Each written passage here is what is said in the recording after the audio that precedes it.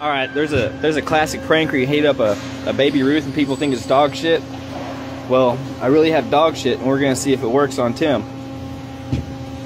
Okay, watch this shit.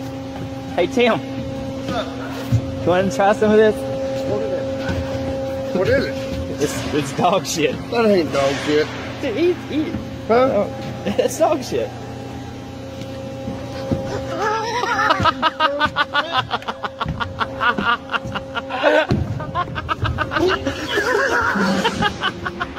Please